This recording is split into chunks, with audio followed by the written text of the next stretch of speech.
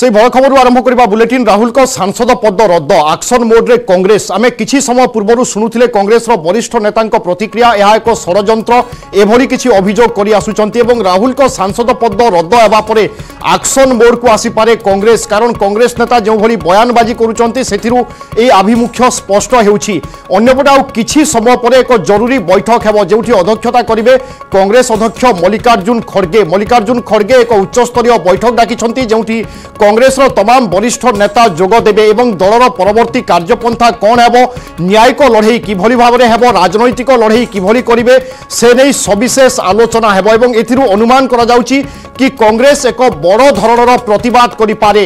সেপাই সজবাজ হচ্ছে কংগ্রেস এবং আউ কিছু সময় পরে মল্লিকার্জুন খড়গে অধ্যক্ষতার এক বৈঠক বসিবা যাচ্ছে এবং যেটি সবিশেষ ভাবে আলোচনা হব কংগ্রেস রাহুল গান্ধী প্রসঙ্গক বর্তমান কোণ পদক্ষেপ আপনাই পারে? কারণ পূর্বর বরিষ্ঠ কংগ্রেস নেতা সবু কইসারিছেন কি রাজনৈতিক লড়াই মধ্যে এখন নেই রোচক হব, কারণ রাজনৈতিক লড়াই মধ্যে লড়া যাব জনসাধারণ নিকটে পৌঁছব কংগ্রেস গাঁ গাঁরে পৌঁছব কংগ্রেস এবং বর্তমান স্থিতি নেই বা কংগ্রেস যে কথা কহি আসুচি গণতন্ত্রে লোকর কণ্ঠরোধ করা যাচ্ছি অত্যাচার বড়িছি বা ঘৃণা সৃষ্টি করা যাচ্ছি যে সব অভিযোগ কংগ্রেস করে আসুচি সেই সব অভিযোগকে নেই জনসাধারণ পাখক যাব এভাবে ভাবে রাজনৈতিক লড়াই হব এবং তার রূপরেখ কণ হয়ে পড়ে কণ বর্তমান আলোচনা হচ্ছে এই বৈঠক উপরে সমস্ত নজর রয়েছে আউ কিছু সময় পরে কংগ্রেস অধ্যক্ষ মল্লিকার্জুন খড়গে অধ্যক্ষতার এক উচ্চস্তরীয় বৈঠক হওয়া যাচ্ছি কংগ্রেসর এবং তাপরে কংগ্রেস রাহুল গান্ধী প্রসঙ্গে কণ रणनीति अपनाई पारे कौन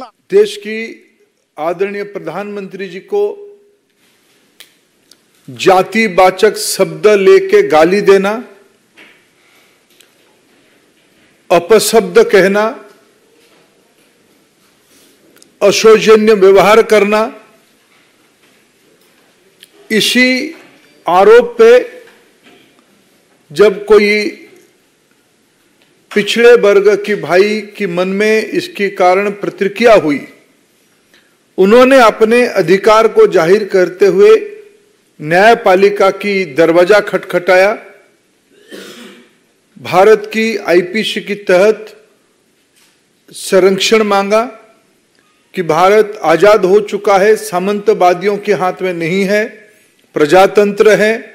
इसमें किसी को भी गाली गुलज करने का अधिकार नहीं है, जातिवाचक शब्द लेके अपशब्द व्यवहार करने का अधिकार नहीं है।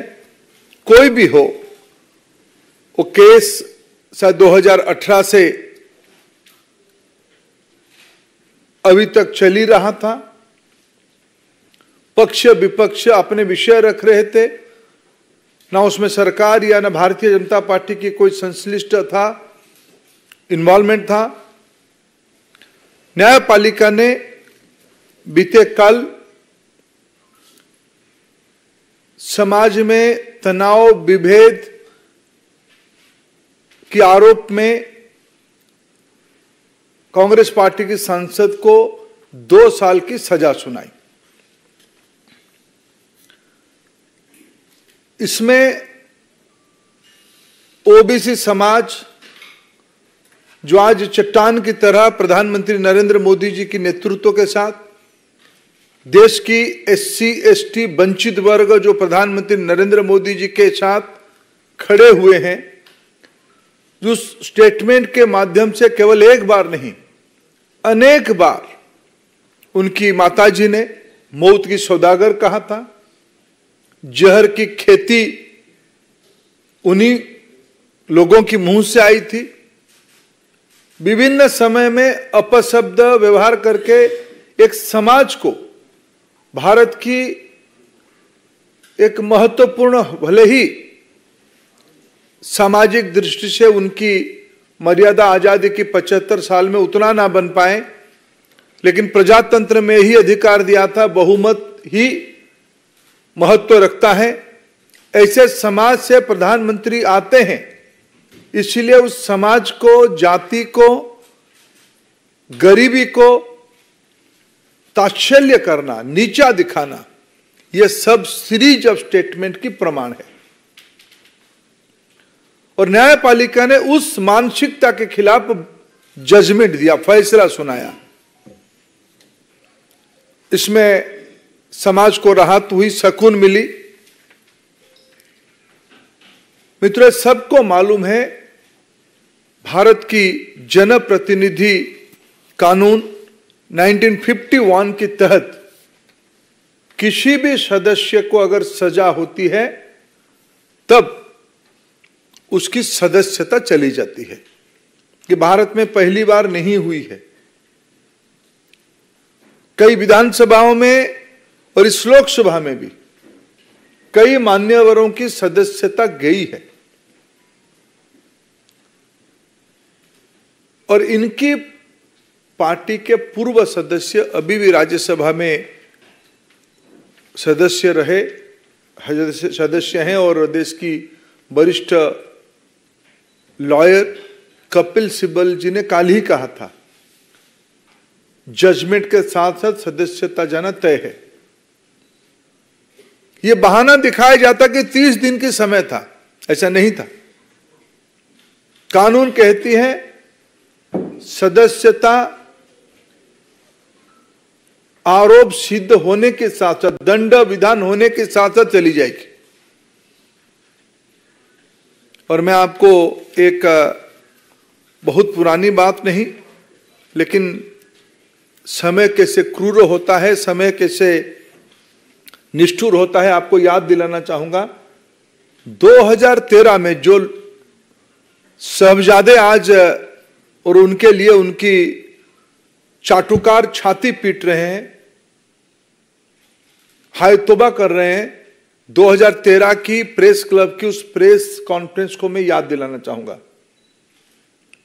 प्रधानमंत्री मनमोहन सिंह जी होते थे, उन्हीं की सरकार होती थी उन्हीं की घर में ही रिमोट होता था, उन्हीं के फैसला था इस कानून को संशोधन करने के लिए। सजा होने के उपरांत कब सदस्यता जाएगी? उनकी सरकार एक ऑर्डिनेंस लाया था। उस ऑर्डिनेंस की मेरिट पे हमारा कुछ कहना नहीं है। लेकिन उस ऑर्डिनेंस को नॉनसेंस कह के फाड़ने वाले आज जब उसी कानून के चपेट में आए आज उनको कष्ट हो रहा है। और मेरे मन में तो कभी कभी एक संदेह होती है, क्या वो सच में उनकी पार्टी, उनकी सदस्यता को लेकर चिंतित था क्या? उनकी पार्टी में बहुत बड़े बड़े वकील हैं। देश की नामी दामी वकील उनकी पार्टी के वरिष्ठ सदस्य हैं। जब एक सदस्य ने कही दिया था, कल, सजाई घोषणा होते ही सदस्यता जाएगी। आप कुछ दिन पहले आप लोगों के माध्यम से देश देखा है। पवन खेरा जी की वारंट के चंद घंटों में बाद, एक दो घंटे के बाद वो कोर्ट की दरवाज़ा खटखटाए, कोर्ट से रिलीफ लेके गए।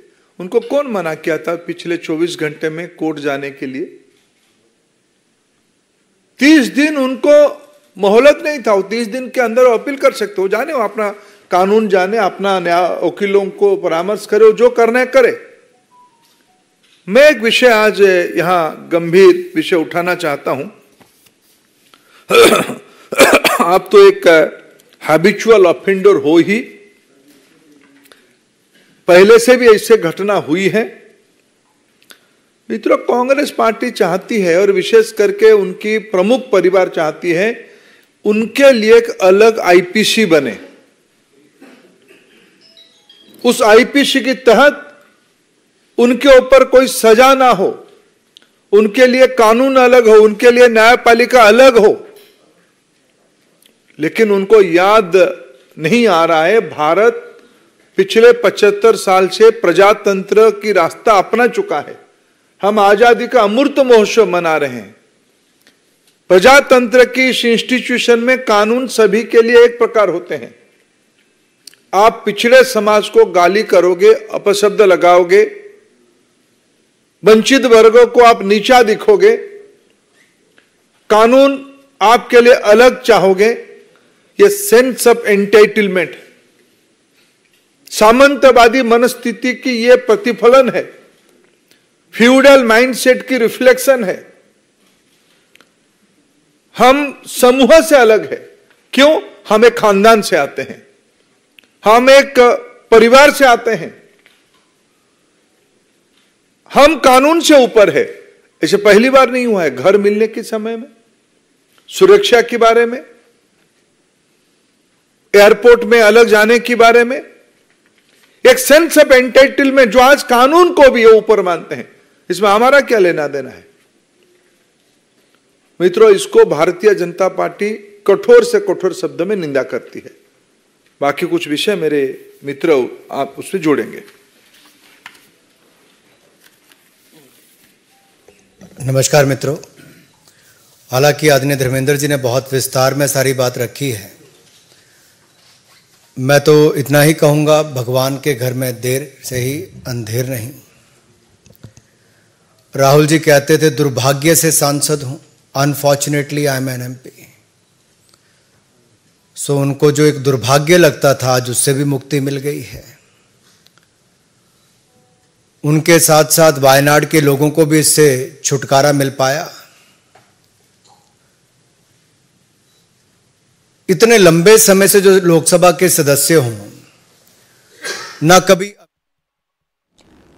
আপনার দেখুলে বিজেপি পক্ষ সাংবাদিক সম্মিলনীর আয়োজন করা যাই এবং লগাতার ভাবে কংগ্রেস নেতা যেমি টার্গেট করে আসুলে এবং রাহুল গান্ধী উপরে যে পদক্ষেপ বা কার্যানুষ্ঠান নিয়ে নিয়াযাচ্ছে তাকে এক ষড়যন্ত্র এবং অন্য এক রূপ দেওয়া চেষ্টা করুলে বা যে অভিযোগ করে আসুচার কংগ্রেস নেতা কহি আসুলে কি রাহুল যে ভারত জোড় যাত্রা কলে তার এক ব্যাপক প্রভাব পড়ছে এবং তাকে নিয়ে ভয়ভীত অনেক সরকার তেণু এভাবে এক ষড়যন্ত্র রচা যাই অন্যপটে কেন্দ্রমন্ত্রী ধর্মেন্দ্র প্রধান বর্তমান সাংবাদিক সম্মিলনী জরিয়া এর স্পষ্ট উত্তর দিয়েছেন এবং কংগ্রেসকে সে টার্গেট করেছেন যা কিছু হয়েছে ন্যায়িক ব্যবস্থা অনুসারে হয়েছে এবং আইন অনুসারে হয়েছে কারণ রাহুল গান্ধী যেভাবে ভাবে অপশব্দ ব্যবহার করে এক নির্দিষ্ট জাতিকে এবং সমাজ উপরে গোটে বিদ্বেষ ভাবনা সৃষ্টি করে এবং তাকে আধার করে যেতবে কোর্টে জনে ব্যক্তি পৌঁছি এবং সেই মামলার বিচার করে এই দণ্ডাদেশ হয়েছে এবং যেতবে দণ্ডাদেশ হুয়ে আমার সাংবিধানিক ব্যবস্থা অনুসারে জনে সাংসদ বা জনে জনপ্রতিনিধি উপরে যেতবে কোর্ট দণ্ডাদেশ দিকে সাগে সাগে তাঁর সদস্যতা রদ্দ হয়ে যায় এ এক চিরাচরিত প্রক্রিয়া। প্রক্রিয়া। তেমন বর্তমান সময়ে কংগ্রেস অন্য কথা চিন্তা করা কথা এবং অন্য উপরে আরোপ বা প্রত্যারোপ ন করা ঠিক এ কথা কিন্তু ধর্মেন্দ্র প্রধান এবং সমস্ত বর্তমান নজর রয়েছে কংগ্রেসর আভিমুখ্য আগকু কণ হব। কারণ আউ কিছু সময় পরে কংগ্রেস এক জরুরীকালীন বৈঠক